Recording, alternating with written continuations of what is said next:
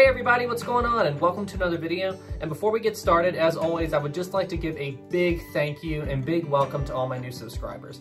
I mean, seriously guys, the amount of growth that this channel has gone through in such a short amount of time is nothing short than mind-blowing. And I cannot believe it, and I'm completely blown away.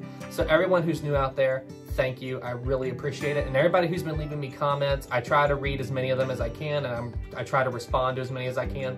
So please keep sending in the questions. Please keep leaving comments and stuff like that. Let me know about things, and I'll do my best to answer them. Anyway, guys, okay, let's get into today's topic.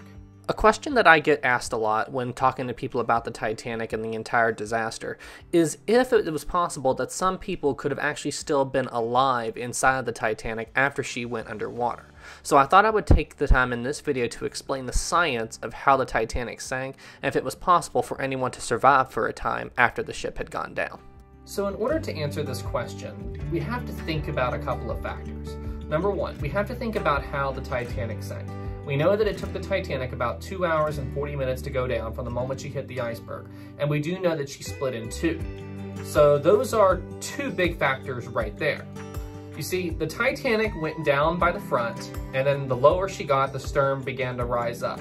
Now because of that, it gave the bow, the front of the ship, plenty of time to flood evenly. So when the Titanic broke in half, the bow was completely full of water, but the stern of the ship had a large amount of air still inside of the ship. And that also is a factor in trying to talk about if anybody could have been alive for a time after the ship had went underwater. You see, all that air inside of the stern was a big reason why the Titanic didn't just drop at this late stage of the sinking. This is briefly before the Titanic broke in half. So at this point, the Titanic sinking actually slows down because due to the high angle, the water can't really progress anymore. So the back of the ship, which is still more or less 100% buoyant, is fighting the dead weight of the front of the ship, which is completely full of water.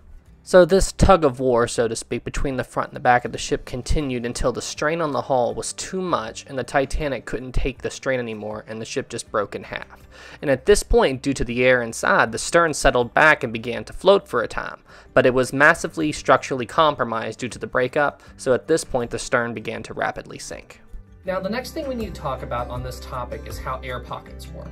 And as I said in that last clip, the stern settled back for a time because she still had a lot of air in it. And she began to rapidly sink because how fast she was going down and how structurally compromised she was. The flooding progressed really quick through the stern. It had no time to gently settle like the bow did. The front of the ship went down very slowly that it gave the water time to evenly distribute, but the stern did not have that luxury. Water was rapidly flooding in, and then there were sections of the stern that air pockets could form. And we need to discuss exactly what air pockets are and how do they work. This picture is a basic analogy of what an air pocket is and how it works. Essentially, an air pocket is a section of a hall or a room or something inside of a ship where water can't progress anymore due to the air inside keeping it out. So essentially, if you're inside of a sinking ship and you're just running and you see the water's coming up behind you and then there's a dead end right in front of you, you can't get out, there's no windows, there's no doors, there's nowhere for you to escape. Well, that also means that the air can't escape either.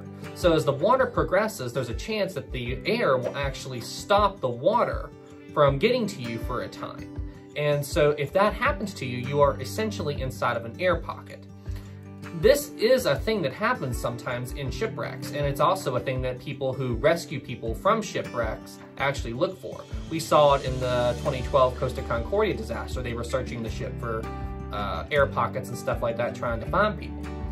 And believe it or not, there is even one case where a man actually survived inside of an air pocket of a sunken ship for almost three days. What you're seeing here is footage from a camera on one of the divers that was sent in to do the rescue mission, but after such a long amount of time, they assumed it was just a body recovery mission. But while this diver was exploring the shipwreck, this man who was in an air pocket reached out and grabbed him and showed that he was alive. This man had been alone in the dark in a ship underwater for almost three full days. Another reason why this was so incredible, as you can see from this picture here, his boat was upside down underwater at a depth of 100 feet. So he had been down at this depth in an air pocket alone and in the dark for three days before somebody came to rescue him. This picture is a better representation to the conditions that he was facing inside of the ship. As you can see, he is in the one tiny little space where there is a tiny air pocket, and all the spaces are surrounding him are completely flooded. So he is inside the only habitable zone on this ship, alone and in the dark, 100 feet beneath the surface. I remember when that story happened, and when I heard about it, I couldn't believe it. And after they rescued him and got him out, some scientists looked at his air pocket and were trying to calculate how long how long could he have survived in there. And based on the size of the air pocket and the water and everything and one man in there breathing, they calculated that he would have had just around two and a half, three days of air. So they barely got him out on time. And another thing is, what about carbon dioxide? You know, all humans uh, breathe out carbon dioxide and that's poisonous to us after a certain amount of time. Well, water absorbs carbon dioxide. So him being in there and having water at his at the foot of the room was actually absorbing the, uh, carbon dioxide from him. And as far as drinking water, he had one can of Coke. So that's all he had in there, and it's just unbelievable that he survived. But what does all this have to do with the Titanic? Well, now that you have a basic understanding of how air pockets work, we need to talk about the other major factor in discussing air pockets, and that would be the pressure of the water surrounding the air pocket. So, when comparing the Titanic to what happened to that man who went down with that little tiny ship, we have to talk about two things, depth and pressure. Now, we all have pressure on us right now. Pressure, there's air pressure on us right now that's around our bodies 24-7, we just don't notice it.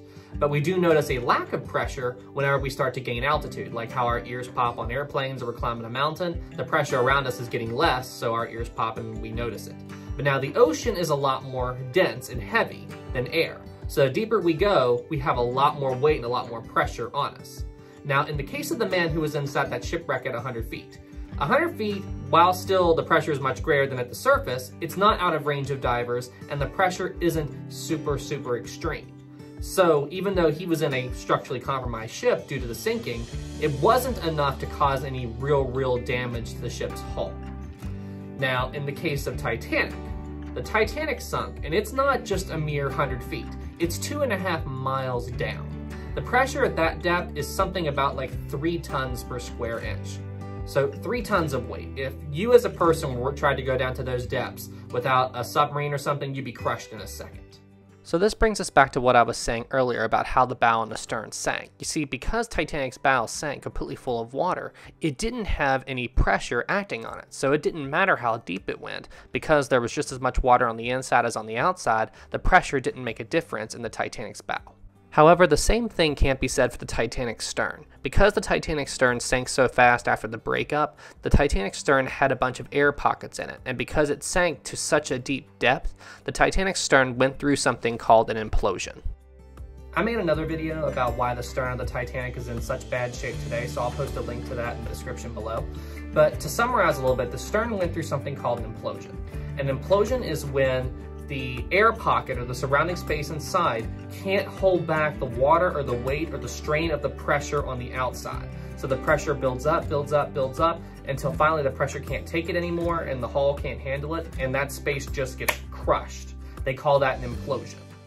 So going back to the main question of this video, could anybody have been alive inside the Titanic after she sank? Well, in the front section, most likely not. The front section flooded very slowly, and any air pockets that could have formed most likely had time to escape. However, it's a little bit different with the stern. Due to how rapidly the stern went under after the Titanic broke in two, and we see evidence of it on the wreck, the stern had massive air pockets inside due to uneven flooding of this section of the ship.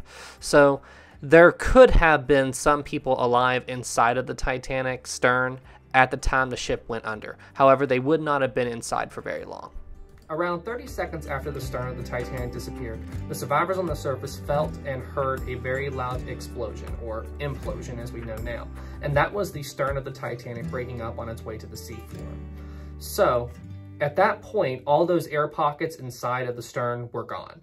So if anybody was alive when the stern went under, they wouldn't have been in there for very long. At the most, 10, 20, 30 seconds before the implosion occurred, and then that would have been it. There, they wouldn't have suffered or anything bad would have happened. It would just been a real quick, instantaneous thing. Anyway, guys, that's it for this video. Thank you all so much for watching. I hope you all learned something and found it interesting. But yeah, uh, guys, everything that's been going on with this channel and all the new subscribers we got. Thank you all so much. I really cannot believe this. So thank you. And all the comments that you all been leaving, I've really enjoyed reading them. And yeah, guys, just keep doing what you do. I really appreciate it. And if there's any other video ideas you want me to cover, please let me know below. I'll take a look at it. And yeah, guys, please hit that subscribe button and please give my video a like. All right, guys, you all take care out there. I'll see you in the next one.